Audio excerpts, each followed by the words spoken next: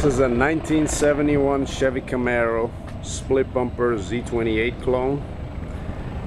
Not a real split bumper as you can see. The uh, split bumpers were added.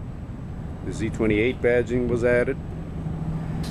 Excellent driver, real nice running 350 under the hood. Aluminum intake, four barrel carburetor, power steering, power disc brakes. Absolutely turnkey.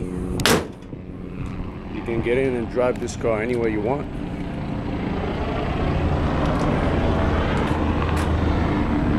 Factory Z28 wheels. All stock interior. Paint was done amateurly about 25 years ago. It looks presentable from about 20 feet away.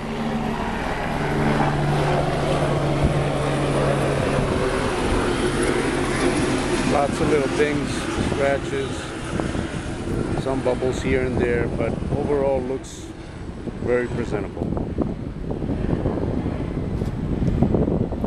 Front spoiler as well as you can see, rear spoiler.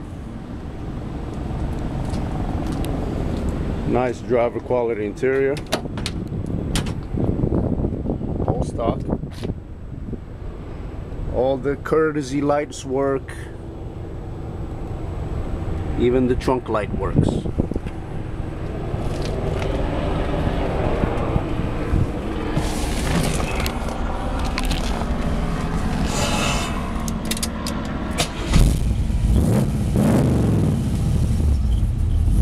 Sounds real nice, dual exhaust, straight pipes underneath.